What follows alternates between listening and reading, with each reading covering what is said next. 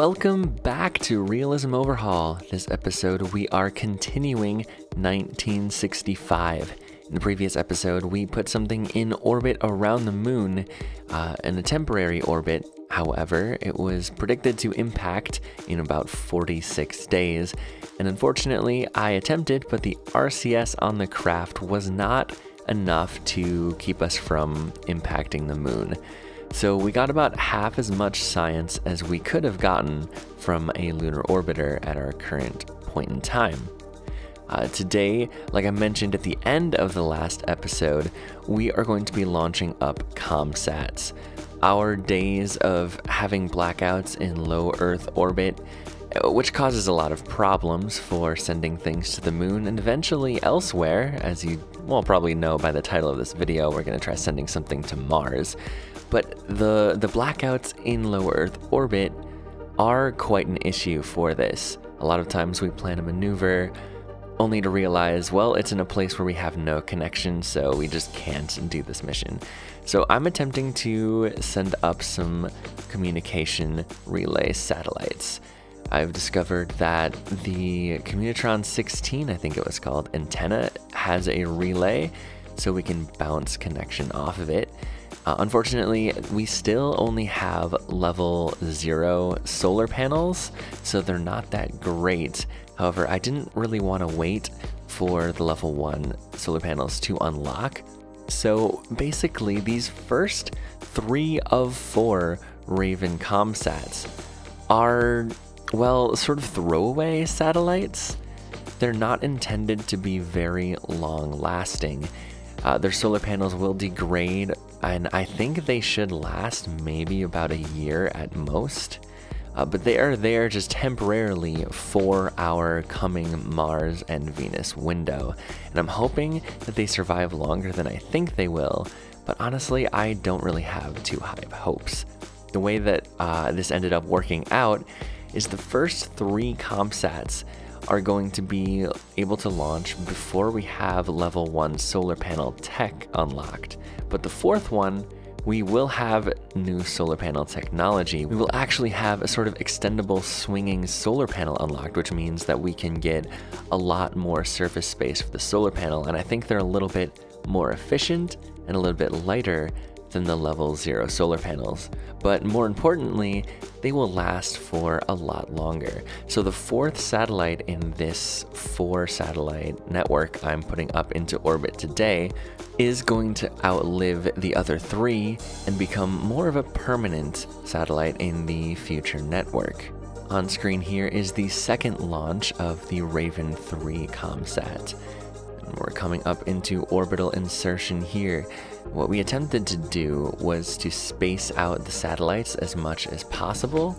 Uh, we, I wasn't really looking for anything perfect. I wasn't going for exact distances or orbital periods because, like I said, these are only going to last a year or so, maybe even less, in all honesty. Um, here we are. We're not putting ourselves in the full orbit quite yet because, like I said, we are spacing out with the one that's already in orbit. It's just seeing where we can place this. It's sort of eyeballing it, to be honest, not really anything uh, too specific.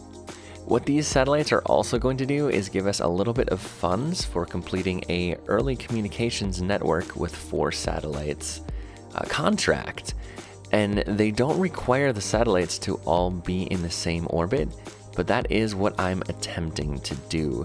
Pretty much the specifications for that contract is to have the satellite up and running, have, well, not, not just the satellite, have all four separate satellites up and running, each with an eccentricity of practically zero, and make sure that they are all alive. And I think it checks if they can communicate with each other. I don't actually know that for a fact.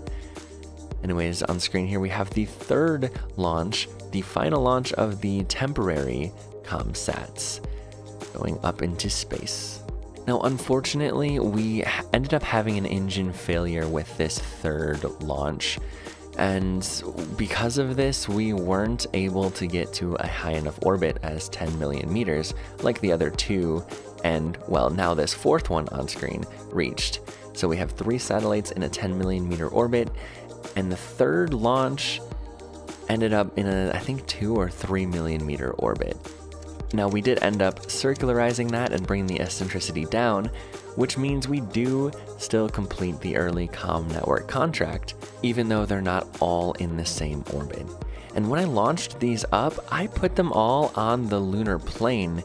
And you saw from the amount of time that we launched the first one to the third one, there's a little bit of drift going on.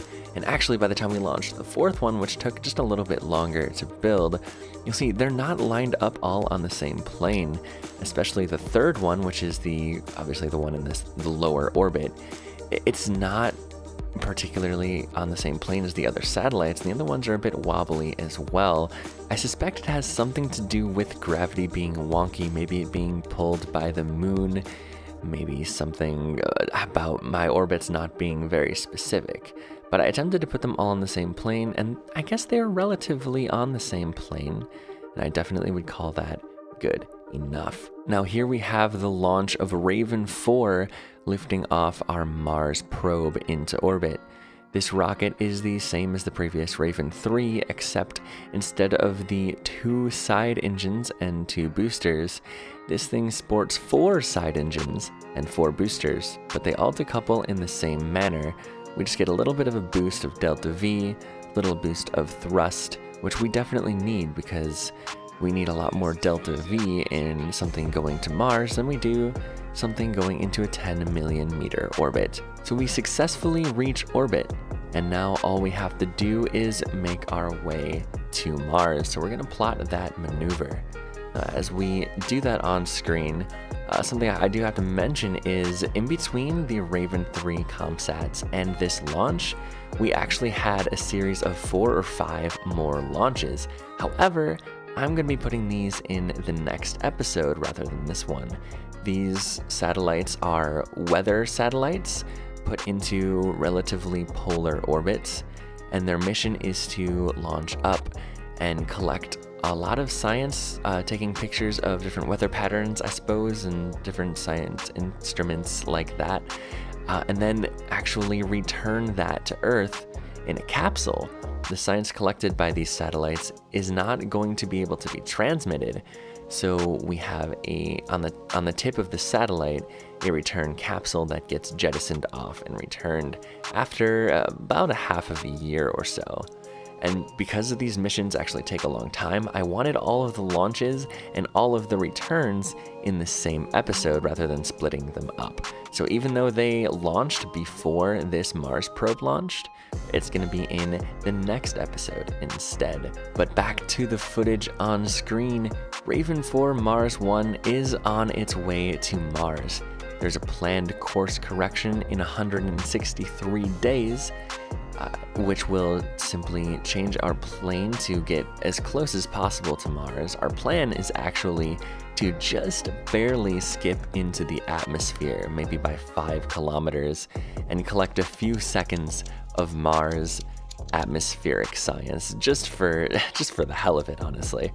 And after that correction maneuver in 163 days, our planned flyby is in about 250 days. And this is honestly extraordinarily exciting.